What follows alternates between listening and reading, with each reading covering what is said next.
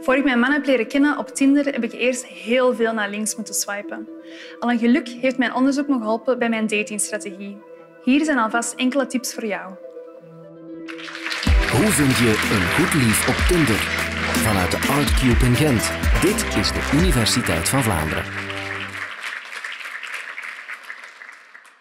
Toen ik aan mijn doctoraat um, over online dating begon, zei ons mama tegen mij jij via het doctoraat aan een lief geraakt en eindelijk van straat geraakt, is dat doctoraat voor mij alleszins geslaagd.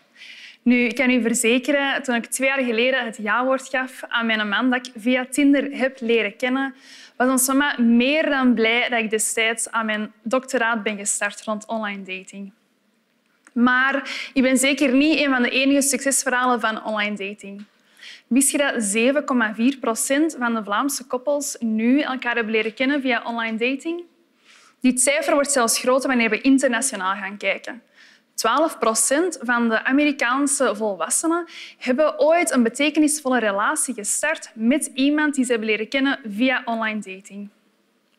Voor zij die misschien niet zo vertrouwd zijn met het hele online datingverhaal, wanneer ik praat over online dating, praat ik over zowel online dating applicaties als over online dating websites. Wat is nu het verschil tussen beide? Online dating applicaties zijn heel vaak apps op je smartphone. Dus die zijn vaak gebaseerd op foto's met klein stukjes tekst daaronder.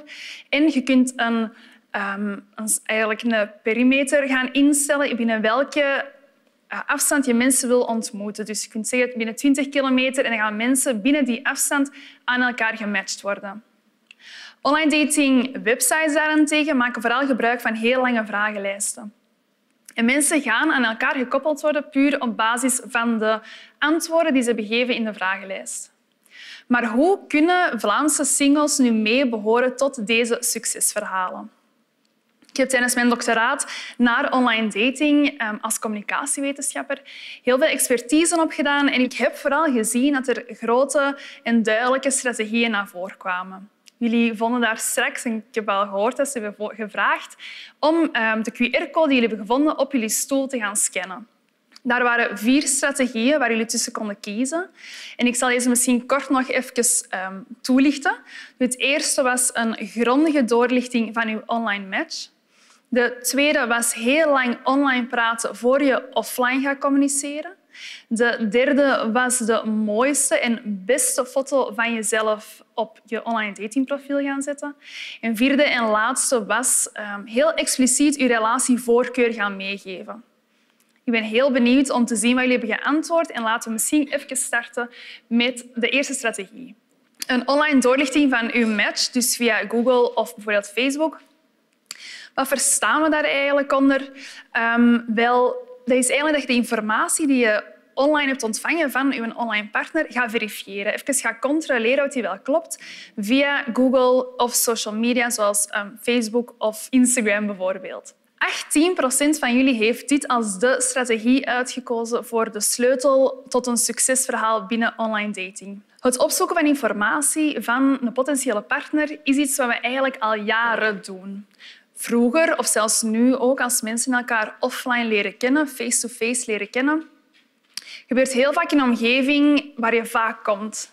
Het zijn heel vaak um, bijvoorbeeld uw, uw lokaal stamcafé, sportschool, um, op uw werk, op de hogeschool, um, de jeugdbeweging. Allemaal plaatsen waar je vaak komt en waar je eigenlijk heel vaak gemeenschappelijke vrienden hebt.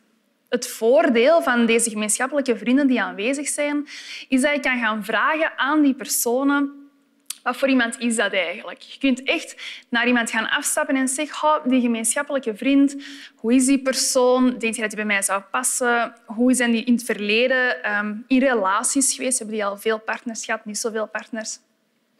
En op basis van deze informatie van die gemeenschappelijke vrienden kun je dan gaan inschatten van oké, ik zou er misschien wel al dan niet mee op date willen gaan. Nu nog gebeurt dat. Heel, allez, heel recent, toch een jaar geleden ongeveer, was een van onze vrienden, dan Thomas, was vrijgezel. Een van, ons, van een collega van mij was ook vrijgezel. En wij dachten, goh, qua karakter ik denk wel dat die eigenlijk bij elkaar gaan passen. Natuurlijk kregen we de klassieke vragen. Dan Thomas van, goh, zeg, eh, die collega, wat voor iets is dat? Of andersom, oh, die Tommy heeft al veel liefjes gehad. Hoe zit dat er eigenlijk mee? Nu, heel fijn om te zeggen, ehm, we zijn toch een dik jaar later en zij heeft ehm, een andere job gezocht om dichter bij onze goede vriend te gaan wonen. Dus het doorgeven en doorspelen van informatie, het werkt wel. Nu, omdat we elkaar leren kennen op het internet, hebben een veel grotere pool aan potentiële partners. We kunnen nu mensen gaan leren kennen binnen het eigen land, maar ook eigenlijk van over de hele wereld. Wat ervoor zorgt dat we die gemeenschappelijke vrienden, dus die verificatie, eigenlijk niet meer hebben. Er zijn ondertussen wel al online datingplatformen zoals Once en Do I Date die hierop proberen in te spelen. En dat doen deze online datingapplicaties. Die gaan eigenlijk het toelaten om reviews te schrijven van de persoon waar je mee op date bent geweest. De mate, ik hoor het al aan jullie reactie, de mate dat dit heel ethisch verantwoord is, blijft natuurlijk nog de vraag. Maar het internet geeft ons wel andere kansen. Oké, we kunnen niet um, echt aan gemeenschappelijke vrienden gaan vragen oh, zou die bij mij passen, zou die persoon niet bij mij passen. Maar er zijn wel andere oplossingen die het internet biedt. Bijvoorbeeld, je kunt een Google Image Search doen.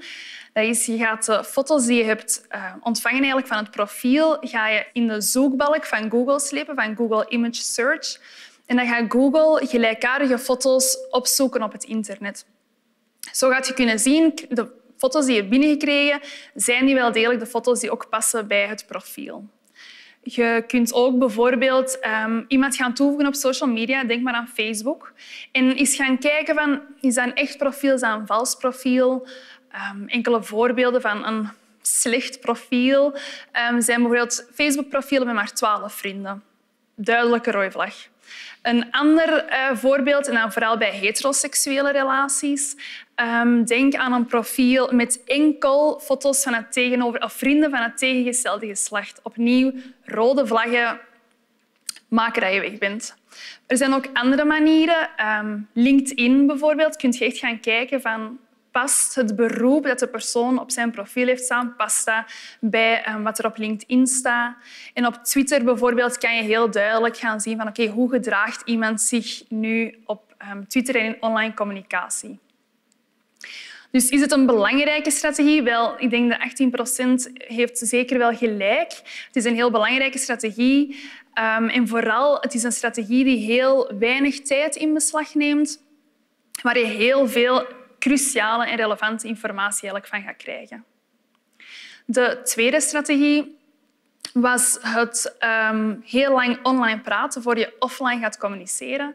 En 34 procent van jullie heeft daarop gestemd. En ik verschiet hier eigenlijk niet van. Waarom lijkt dit een heel logische beslissing? Misschien belangrijk is even om te zeggen, online praten bedoel ik zowel via uw online datingplatform, maar ook via WhatsApp, social media, Facebook Messenger, alle online communicatieplatformen. Het lijkt heel logisch dat dit een heel belangrijke strategie is. Waarom? Je ontmoet iemand, een online vreemde, en je denkt oké, ik ga eerst aftoetsen wat voor iemand is die persoon, voor je daarmee op offline date gaat. Maar de wetenschap heeft eigenlijk aangetoond dat je best zo snel mogelijk offline op een offline date moet gaan. Maar waarom?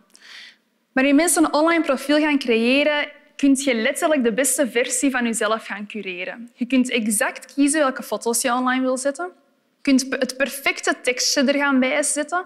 Ehm, denk maar als iemand bijvoorbeeld iemand heel avontuurlijk wil aantrekken, kan je bijvoorbeeld op je profiel zetten Wanderlust. Ik hoop de hele wereld te zien door veel te reizen.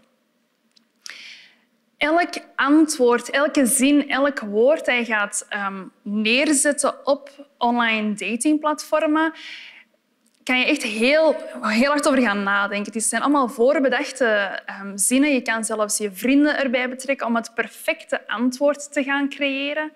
En je kunt als het ware je persoonlijkheid gaan cureren en echt zien van heel goed gaan nadenken over de persoon die je daar online neerzet. Offline is, is het veel moeilijker. Offline doen we vooral aan offline, dus face-to-face communicatie, doen we vooral aan synchrone communicatie, real-time. Terwijl online communicatie is asynchroon, um, waarbij er tijd kan tussen tussen, het, tussen de antwoorden um, die over en weer gaan. Bij offline communicatie, je kunt wel beste kleren aandoen, je proberen je zo goed mogelijk voor te stellen, Maar het is heel moeilijk om over exact elk antwoord zo goed te gaan nadenken. Dus offline ga je een veel beter beeld krijgen van de persoon die voor jou zit. En dat sluit ineens aan bij het volgende punt. Als je heel lang online met elkaar gaat communiceren, gaat je bepaalde verwachtingen creëren. Je gaat echt een beeld in je hoofd creëren van de andere persoon en vice versa. Mensen gaan ook een heel duidelijk beeld van u krijgen, omdat je zo goed je eigen persoonlijkheid, je eigen profiel hebt kunnen cureren op het moment dat we eigenlijk gaan zien van oké, hoe communiceert iemand offline, gaat je vertrouwen kunnen beginnen opbouwen. En vertrouwen is ook cruciaal voor een goede, een goede relatie en um, voor die relatie echt uit de startblokken te laten gaan. Een andere reden waarom het heel belangrijk is om vooral ook direct of zo snel mogelijk toch offline te gaan communiceren, zijn non-verbale cues. Verbale cues zijn alles um, taal, gesproken taal, geschreven taal. Non-verbale cues zijn aanrakingen, oogcontact, um, hoe iemand zich gedraagt en een houding geeft. Je kunt bijvoorbeeld online heel flirterige en vlotte communicatie hebben en als je elkaar dan offline tegenkomt, merk je er is, geen, er is geen oogcontact, er zijn geen aanrakingen. Het, het klikt niet zoals ik, dat ik het had gehoopt als ik zag hoe we online communiceerden. En het laatste, en denk ik ook heel belangrijk, is dat er zijn bepaalde zaken die je niet op papier kan vastleggen. Dat is, dat is gewoon zo. Ik denk, in het Engels zeggen ze vaak oh, er moet chemistry zijn, er moet een spark zijn. En er zijn heel veel shows die hierop gebaseerd zijn. Denk maar aan de reality-tv-shows zoals Blind Getrouwd, um, Boer zoekt vrouw. Mensen die op papier heel goed leken te kloppen, daarom ook aan elkaar gematcht zijn, maar als ze offline in een relatie gingen, um, bleek het toch dat het niet de perfecte match is. Dus is het belangrijk om heel lang te gaan online praten? Nee. Ik zou zeggen, als je een initiële match hebt, spreek vrij snel offline af. Maar doe het wel in een publieke setting, dat er toch iets of wat sociale controle is um, door op café te zijn of op restaurant. De derde strategie was het kiezen van de beste, meest aantrekkelijke foto. Werd door 15 procent van jullie gezien als de sleutel tot succes. Klopt dit? Ja, maar denk, zoals alle goede dingen in het leven, is er ook um, een keerzijde aan in de mate dat je niet mee mag overdrijven. Waarom is fysieke aantrekkelijkheid belangrijk? Fysieke aantrekkelijkheid is een van de redenen waarom mensen op elkaar afstappen, bijvoorbeeld op café, in, in een offline omgeving. Ik denk dat er maar heel weinig gevallen zijn waarin mensen op elkaar afstappen op café omdat het misschien een toffe is. Het is altijd die initiële aantrekking toch dat ervoor zorgt dat mensen op elkaar gaan afstappen. Online datingplatformen zoals bijvoorbeeld Tinder zijn hier ook echt op gebaseerd. Tinder heb je um, veel foto vooral, klein stukje tekst en je moet echt swipen op basis van de, de eerste initiële aantrekking die je voelt via het scherm um, of, mensen met, of je met die persoon wil matchen of niet. Nu, daarjuist zei ik al van er is ook een keerzijde aan Onderzoek heeft aangetoond dat wanneer foto's te goed zijn, dus te aantrekkelijk, de persoon op de foto's, gaan mensen eigenlijk denken dat het een vals profiel is. In online datingtermen praten we vaak over een catfish, dus dat de persoon um, achter het scherm niet is wie hij of zij zegt te zijn.